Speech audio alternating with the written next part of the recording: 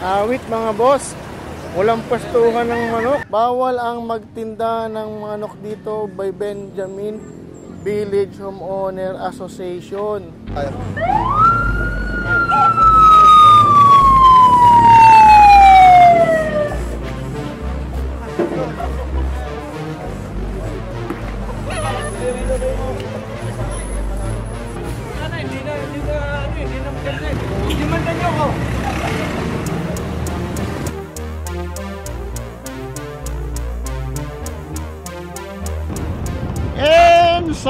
yon mga boss. Grabe, daming tao ngayon ah.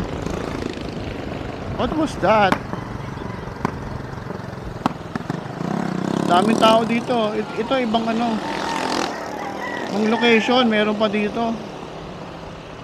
Yan mga boss. Ito na, simula na yung grotto natin. Ayan.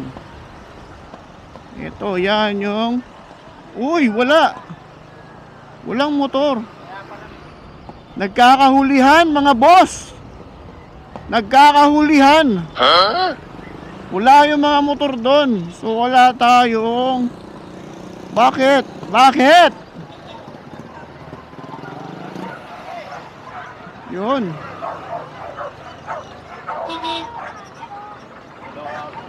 Kaya pala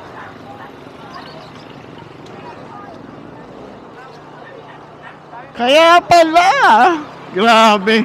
What happened? What happened? Nagkakahulihan doon sa area. Daming tao. Awit mga boss. Walang pastuhan ng manok. Ayan o ano? Boss Danny, good morning Boss Danny May mga pulit mo ngayon. Ayan. Mga naghahanap ng pulit o kay Boss Danny Ayan, pangatay pulit Ganda nun no Ano yun? Pangkanin? Hindi mo pangan yan? Hindi palahin yun. Oo Na-register siya sa pagkata eh. Yun nga Tahan ba? Oo Magkano yun? 100. Ganda to ah. Yun oh, yung mga pulit na yun oh. 200 lang mga pulit oh. May mga lahi. May mga magandang linyada. Ang lalaki.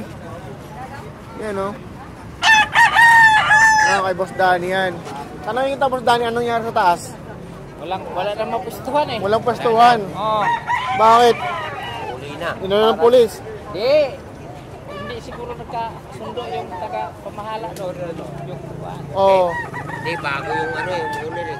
Baka lang, baka, Wala dun. baka kailangan lang ng ano, bayad. Mas magandang bayad. Siyempre, Oo. magbayad talaga yun. Oo. Wala. Wala tuloy mga pwesto. Kalat tuloy mga manok, mga pagungero. Parang inin, inin, nagka, nagkauntihan. Baka walang ano, parte. Ayan. Muna ako sa Dani ha. Yan, mga boss. Grabe, nagkalat dito yung mga ano, kabungero, mga seller, nasa labas. Kasi wala silang ano, pwesto. Nagka-problema dun sa area. Siyempre, hindi natin masabi kung ano yung mga pangyayari, maaaring involved yung ah siguro sa upa. Yan mga boss, no? Ano nangyari? Sir, ano nangyari? Pinagbawal na boss. Doon pa lang sa ano, sa taas na nakita ko na agad eh, parang siksikan eh. Wala. Pinagbawalan na. Oh, bawal doon, Bawal na. pati vlogger. Hindi naman. Ah. Yung mga ano lang, seller tsaka buyer. Oh, dali hahap, hahapyawan natin. Dito sila Boss Lando. Ayan. Ayan oh. Good morning Boss Lando. Dito na muna tayo no. Ayan, tuloy pa rin ang buhay. Tuloy ang hanap. 1.6 pwede ba? 1.7 sige. Ano tayo?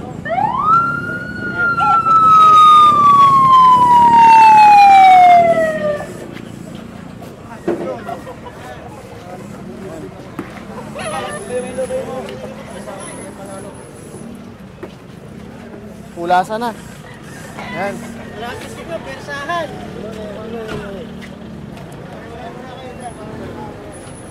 Oo. Ayan. Medyo mainit talaga mga boss.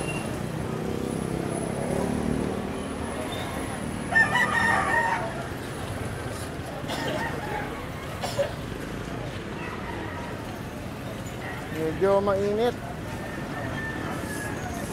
Bukawi. Ang grotto.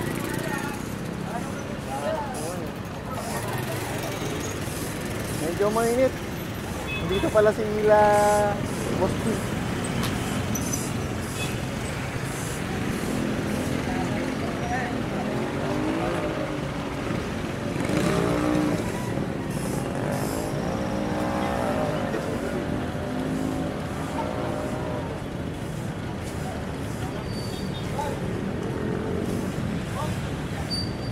Wala na, hindi na, hindi na, ano, hindi na maganda eh. Pagsabihan nyo ha, pagdating namin dito pagka nandiyan, dadampunin ko. Hindi man na nyo ako.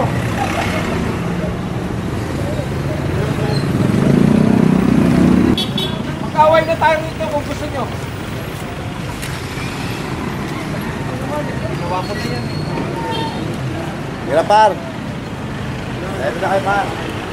Pahinga muna, pahinga muna Oo. ngayon. Day off muna tayo ngayong linggo. Meron muna. Oo. Dire diretso muna ng sabungan. Hats? Hats. Ano yung boss pangbenta sana? Ah, pangbinta yun. Oo. Hindi ito sa inyo. Pangbenta sana o nabili nyo? Na bintana? Ah, nabenta na. Buti nakabenta pa rin. Oo. Oo. Ito, wala na naman. Wala na itong laman Ah, dito. Babae. ilang taon na yun? Dalawa, isa, isa, isang taon. Ah, isang taon na? Hindi ako nakapagbenta. Nulo ako ng pulis. Ayun, no? May dala ka ba? Ha? Wala? Ah, wala na rito. Wala na ritong manukan. Ayan. Papakita ko sa inyo ang nakakapaskil dito. Sobrang nakakalungkot. Na, nakakalungkot kasi ayan, sinarado na. Bawal ang magtinda ng manok dito by Benjamin Village Homeowner Association. So yun, hahanap tayo ng pwedeng matanungan. Sana pumayag sila. So, mga ano dito? Bakit? Ayan o. Ayan. Good morning po, sir. Sir, pwede magtanong? Ah, vlogger kasi ako. Anong, ano, okay lang magtanong. Kung hindi naman walang problema. Kung bakit po sila, ano, hindi na pwede. At least alam nila kung sakali may makapanood. Ano pong dahilan? nagkukos, unang-una, nagkukos ng kaguluhan, Mhm. nag-aaway. Tama. Noong nakaraang linggo, dito, Kawan na motor. Nag-aaway dahil hindi nakaintindihan sa presyo.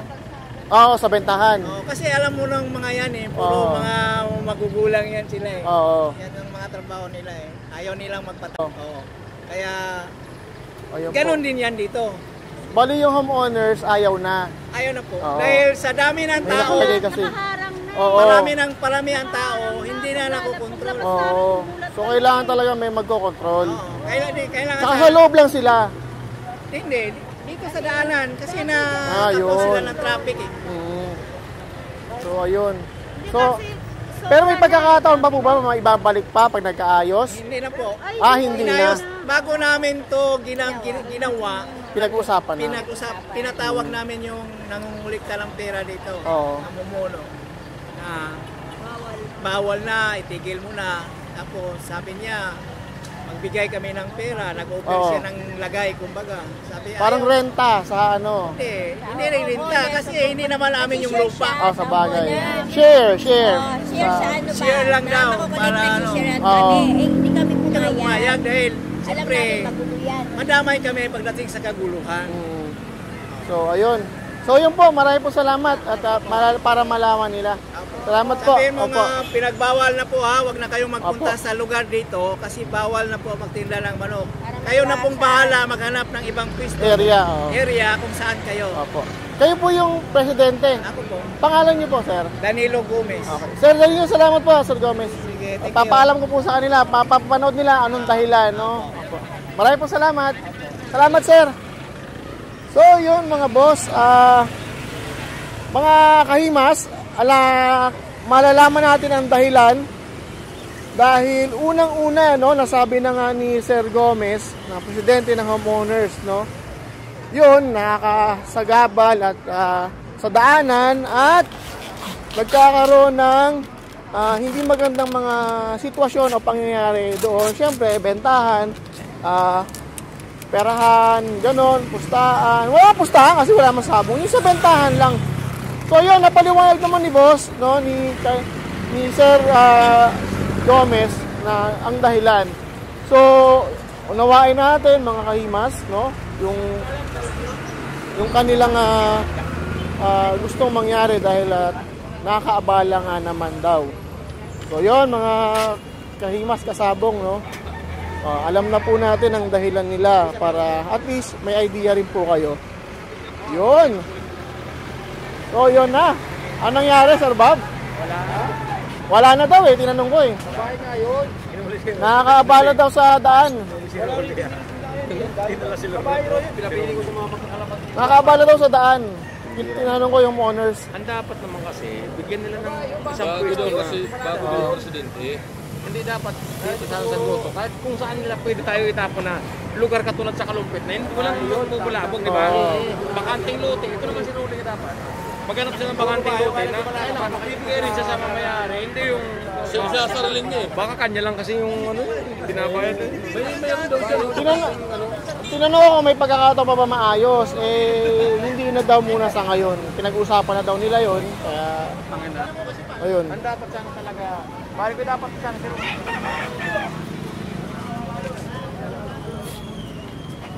Ayun, mga boss. Ano tayo ngayon? Ah, pahinga. Yan. Ah, sino ba matatanong natin, no? Pwede natin matanungan. Pinatawaran na ang tubor eh. Hindi ko lang binigay, lugi talaga.